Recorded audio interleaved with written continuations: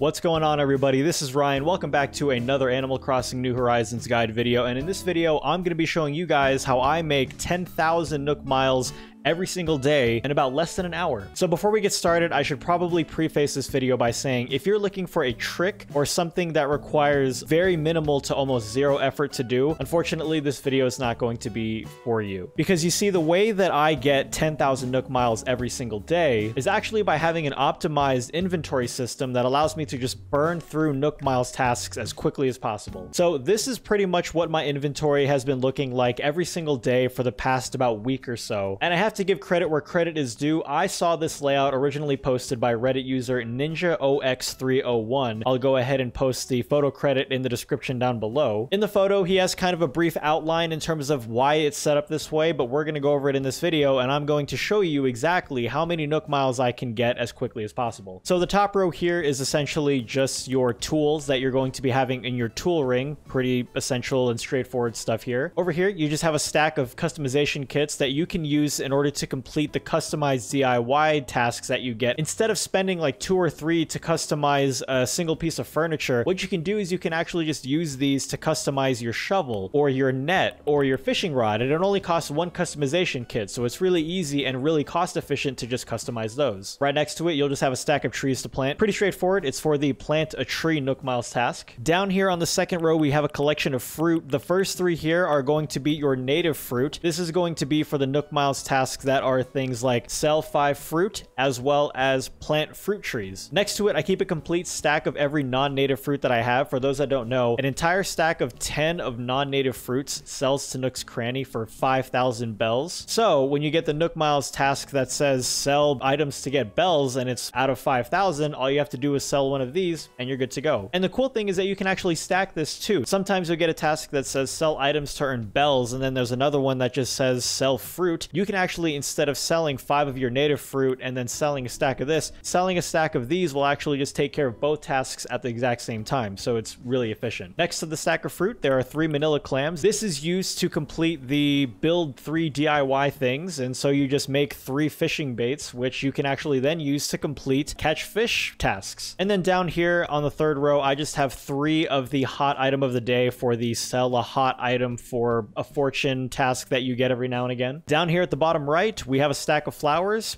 Pretty straightforward, plant flowers. The mini DIY workbench, as mentioned earlier, you're going to be using as you walk around your island to do the complete DIY tasks that you get. So instead of running all the way back to your home and then making it there, you can just plop out the DIY workbench really quick, make your fishing bait, put it back in your inventory, good to go. And it's a two for one because then you can also use it to customize things. And then over here to the right is the changing room for when you get the access your wardrobe and change your look task that you get. And that's pretty much the setup. So again, big thank you to Reddit user Ninjaox3o1. Ninja, if you ever find this video, I just want to say thank you for the inventory layout. It's been really, really effective and really efficient in order for me to get Nook Miles really, really fast. So Thank you. So before I do this for the next hour and show you guys exactly how many Nook Miles I can get, again, I just want to say that if you were looking for a quick fix or something that required minimal effort, I apologize. Without time traveling, as far as right now, there's not really a really, really efficient way that I've found to get Nook Miles. But we're going to go ahead and go through it. As you can see in the bottom left-hand corner, it is 7.44 p.m. right now. I'm going to either go until one of two things. As you can see, I have 18,180 Nook Miles currently. What I'm going to do is I'm going to go until I have 28,000 Nook Miles and see how fast we can do that. Or I'm just going to go for the next hour and see how many I can get within the hour. Now, I'm not going to show you all that. I'm just going to do it and then we'll just transition to it and I'll show you guys either 28,000 Nook Miles or how much I've got after an hour. So I'll be back in a second. A few moments later. All right, really quick, just wanted to show how far along I am in the process. Currently 8.14 p.m., so it's about 30 minutes since I started actually trying to get Nook Miles. And as you can see here, we've gone from 18,000 to almost 24,000. So that is within 30 minutes. So I should be able to get to 10,000 miles total today in the next 30 minutes. I'll check back in with you guys in 30 minutes, maybe less. A few moments later. All right, we're at the home stretch right now. We're at 27,730.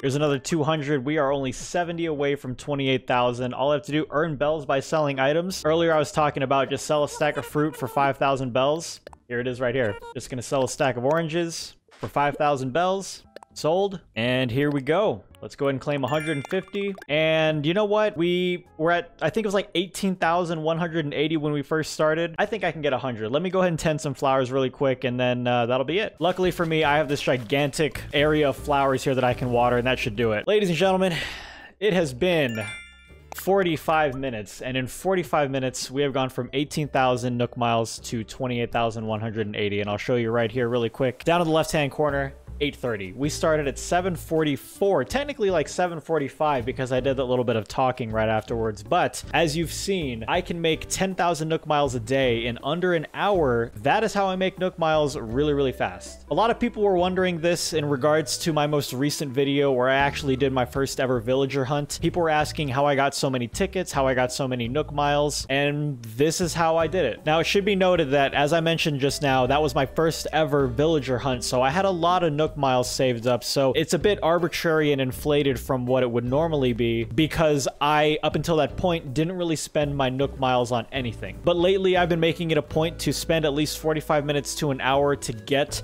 the daily 10,000 Nook miles that I've basically been committing for myself. And as you can see, because it's so easy to do time-wise at least, I can do this easily for the next hour or so and then end up at 38,000 Nook miles and then 48,000 Nook miles over the next couple of hours, at least as long as I have the resources to do so. But that's pretty much it. If you guys have any questions regarding the inventory system, please feel free to leave a comment down below. And I know that I basically skipped out on a big chunk of doing all the tasks for getting Nook miles and stuff like that. Look, if there's anybody that wants to just watch like a 45 minute to an hour long playthrough of me going through and just earning Nook miles, by all means, let me know. I don't think there will be people who are interested in that, but you never know. As always, if the video is helpful, please be sure to drop a like. And if you're new to the channel, please be sure to subscribe as well and turn on notifications. That way you're always notified when a new video on the channel is ever posted. Until next time, guys, thank you so much for watching. I appreciate it very much, and I'll see you in the next one.